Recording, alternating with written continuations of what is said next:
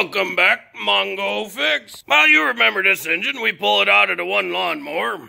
You know, link in the description and whatnot. Today we tear this one down, see what it's going on, see what it's all about. Check out some of the bearings, see if it's any good to rebuild, because not only did it burn oil, but it also seized on Mongo while out mowing the one day. So we want to take good look. And there's the model type and code, just in case you're curious. Let's start by getting this cover off. And gotta get our air filter cover thing off.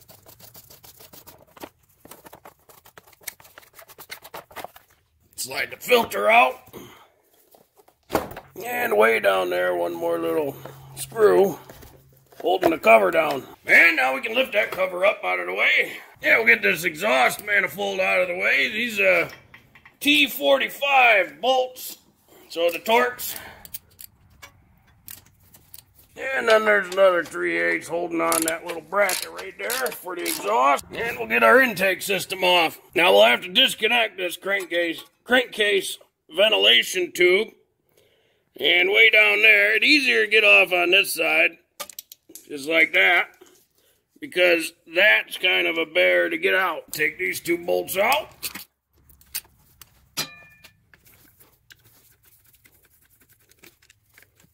This whole intake and carb will be mostly free floating. You don't want to drop it because you still got your, your linkages here, so we can slide our governor link out. Then we can unplug our sensor at the bottom. It literally just pops in and out. There's no re real retaining clip or anything. And then over here, we can swing this over, and there's a little, this linkage has got a little Z. Get some engine oil drain in here.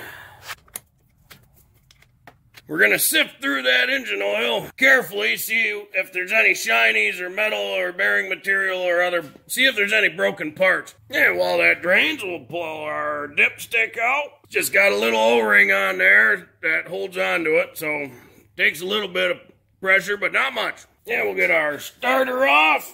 These are T40s. And of course, you still can't get to the other side. Luckily, though, it's a standard hex bolt as well, so a half inch socket will get them. And we'll get our super fancy oil filter wrench. Well, with these intake and exhaust off, let's take a look. The valve doesn't look too bad, a little carboned up, but definitely seen way worse. Look like head gasket might be blown. A lot of oil in between there. And the exhaust side, not too bad. Definitely seen way worse. And looking at this evidence here, you know, these cylinder heads this part and cylinders that part. Seeing all this oil residue and debris attached to that residue definitely look like head gasket blown.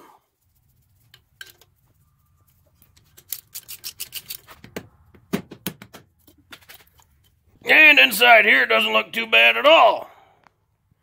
So we got our exhaust valve, our exhaust valve spring, exhaust rocker, and then we got the push rod, and then our intake valve spring, and intake valve rocker, and intake push rod.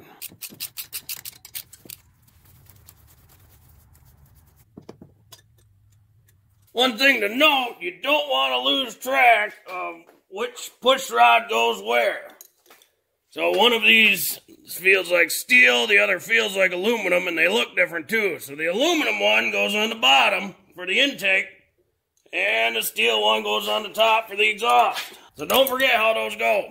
And then remember which orientation goes to the inside of the engine, and then which one goes towards the rockers.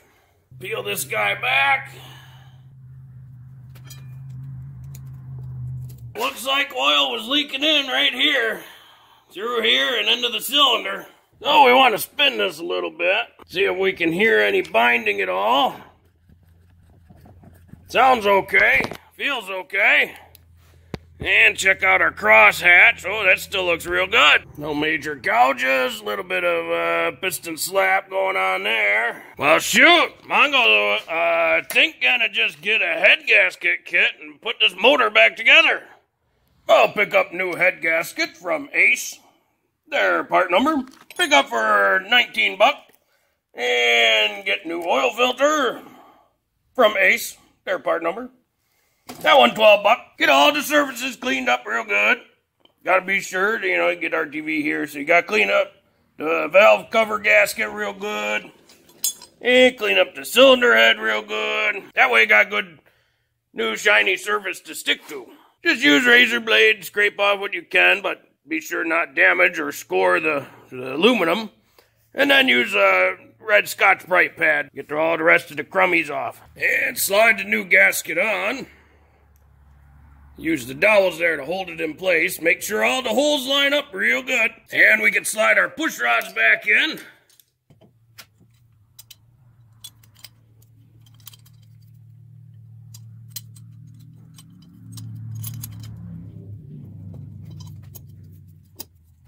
We can start threading our head bolts in. Cylinder heads get torqued to 25 newton meters or 18.5 foot pounds. So when you put this on and you got the push rods in there, it's always good and best to put those in when the piston's at top dead center. So you saw when it went on, the piston was way out at the edge. That top dead center. So once you get this torqued up in place, it's always good spin the engine, make sure them push rods and valves open correctly. So there's the exhaust stroke right there. And there's the intake stroke. So then it should sit both closed for a while. So that way you get the compression stroke and then the exhaust again. And while you're in here, you can adjust these if you'd like, but Mongo pretty happy with where they at right now, and we didn't pull anything off, so they shouldn't need anything new. And we get a little black RTV, and just run a bead along the inside of these bolt holes on this valve cover. Then this will just slide over the top.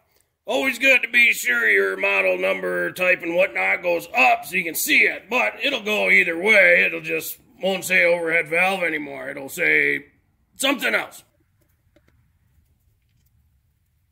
And these bolts only get torqued to 7 newton meters or 5.2 foot pounds. Put our Sparky plug back in, top cover support bracket, side windage tray, the exhaust manifold, 19 newton meters or 14 foot pounds. We can get our intake in, but we'll have to do our little Z cable thing, slid back in, and get our little breather tube back here on. Slide our bolts in. Now these bolts are 10 newton meters or 7.4 foot pounds. And of course, Mongo was expecting a much worse situation, so didn't have to take the starter off at all. So put that guy back on. And we'll slide our cover on. Don't forget about the little screw way back there on the intake. And the air filter. Of course, that one pretty nasty. Someday, Mongo will have to get a new air filter for this thing, but not today. And our cover. New oil filter. Always be sure to put oil on the ring. The O-ring.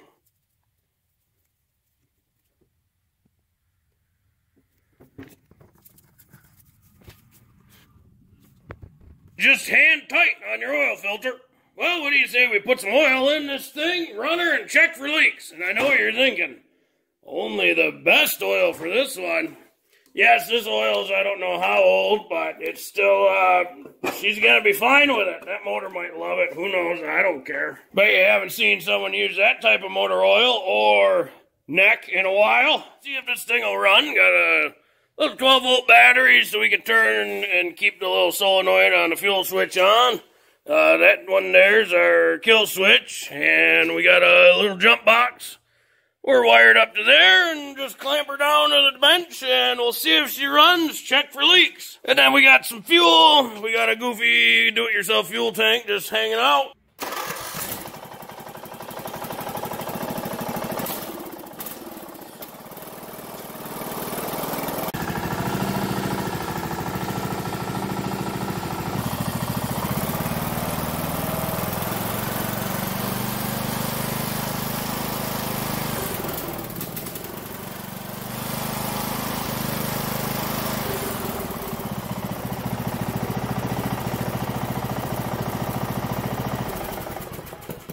Well, got no oil leaks so far. Everything nice and dry as it should be, so that's a good sign, but only time will tell. Oh, that's a good running little engine there. Guess Mongo was wrong. Wasn't seized, just blown head gasket. Still running? Well, that's good. Now I got a nice spare for next year if uh, one of the other engines blows or something. Well, if you like this video, be sure to like this video. If you like this video and other videos from MongoFix, be sure to subscribe. Mongo is working on all sorts of stuff. So you ought to replace head gasket and on your mower engine if you ever have to. Mongo, thank you.